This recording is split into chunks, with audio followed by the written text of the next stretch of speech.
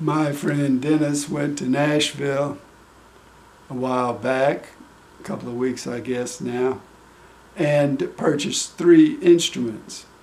And this is one of the ones that he got.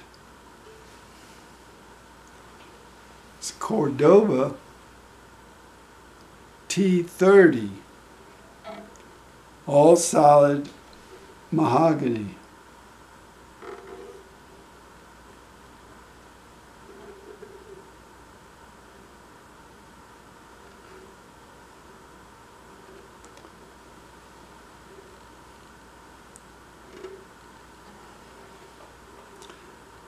So what what are my impressions of this ukulele? One, that is a very attractive headstock. Very attractive. Very nice. This is an extremely lightweight ukulele. Phyllis was talking about her ukulele that is all solid, I think, in you. And she talks about how heavy it is. Well, this is light. It almost floats. It's a tenor ukulele. So it's bigger, you know, it's a, a bigger uke. It is lovely. Lovely, lovely. The problem with this ukulele is that it's expensive. And I don't feel real comfortable playing an expensive ukulele, honestly. If the uke costs more than $200, I really. Uh,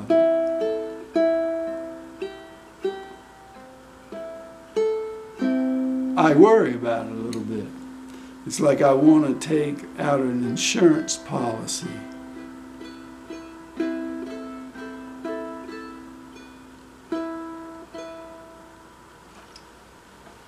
as you see, does not come with strap buttons. Does, or did, come with a very fine gig bag.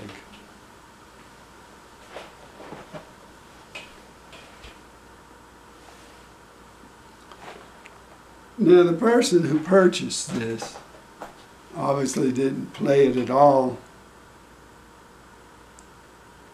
First thing Dennis did was change the strings. I don't know why, but he did.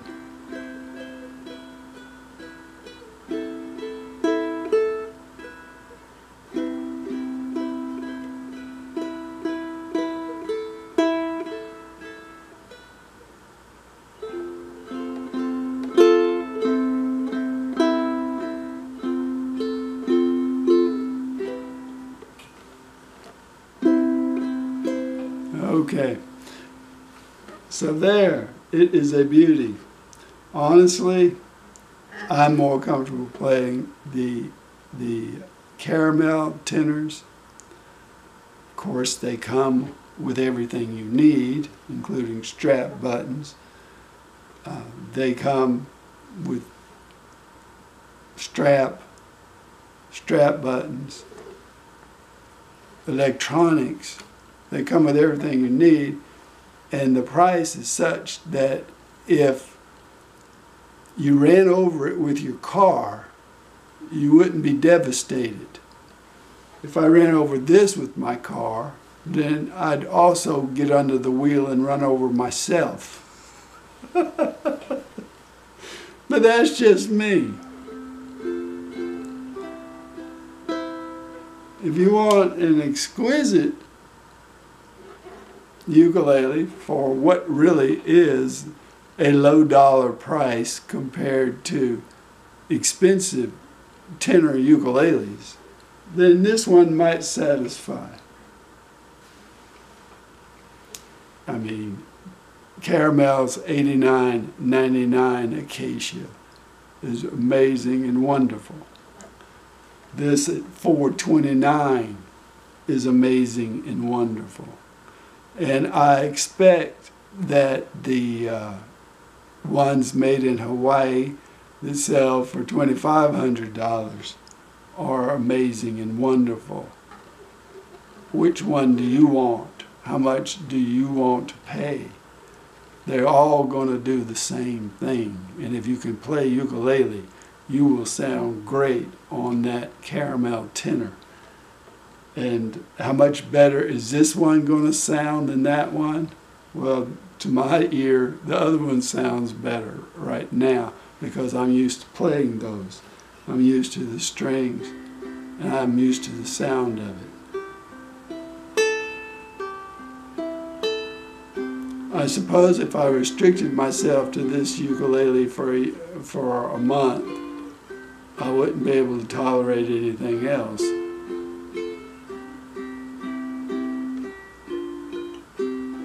Don't know.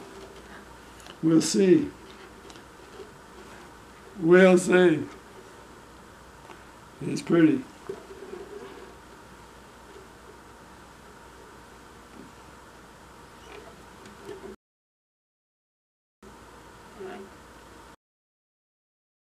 Thanks for watching.